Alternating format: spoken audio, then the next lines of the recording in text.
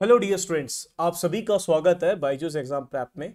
तो आज हम बात करने वाले हैं बच्चों different type of RCC beam section के बारे में।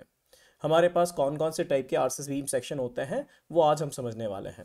तो ऐसे ही कुछ डेली डोज और कंसेप्ट के लिए अगर आप जुड़ना चाहें बच्चों तो हम लोग बाइजूस एग्ज़ाम प्रैप के साथ जुड़ सकते हैं, जिसमें आपको कंसेप्ट और न्यूमेरिकल टाइप के जो शॉर्ट ड्यूरेशन में आपको क्वेश्चन होते हैं, वो भी यहाँ पे देखने को मिलेंगे।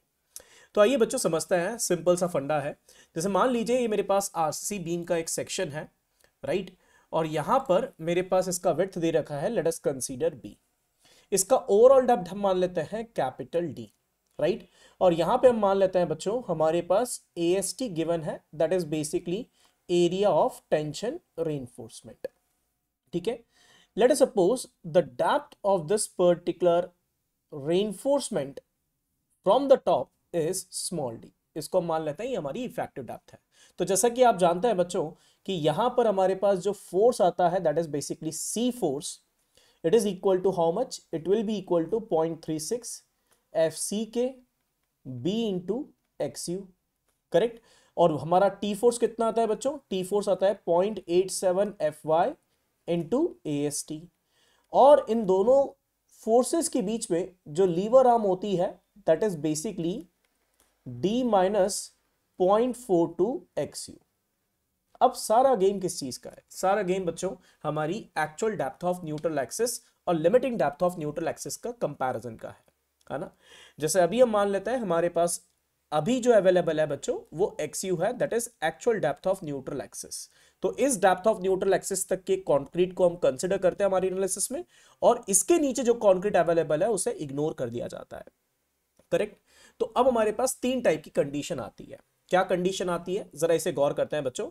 मान लेते हैं कि हमारे पास जो actual depth of neutral axis है, वो लेस देन एक्सयू लिमिटिंग है तो इसका मतलब हमारा सेक्शन क्या हो गया? अंडर रीइंफोर्स सेक्शन है।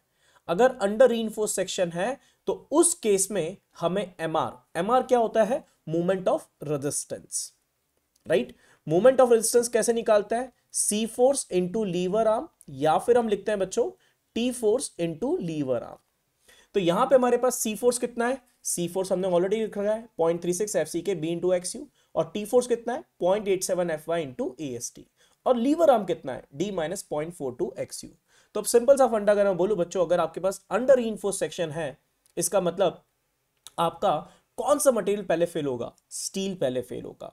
और यहाँ पर अगर मूवमेंट ऑफ़ रेजिस्टेंस आप निकालना चाहें तो आप इन दोनों फॉर्मुले से मूवमेंट ऑफ़ रेजिस्टेंस निकाल सकते हैं। दूसरा टाइप की अगर हम सेक्शन की बात करें तो अगर X U is equal to X U limiting हो जाता है बच्चों तो इसका मतलब है कि हम टेंशन साइड से भी और कंप्रेशन साइड से भी एमआर को निकाल सकते हैं और इस कंडीशन पे हमारे दोनों मटेरियल फेल होते हैं साइमेंटेनियसली चाहे वो स्टील हो, चाहे वो कॉन्क्रीट हो।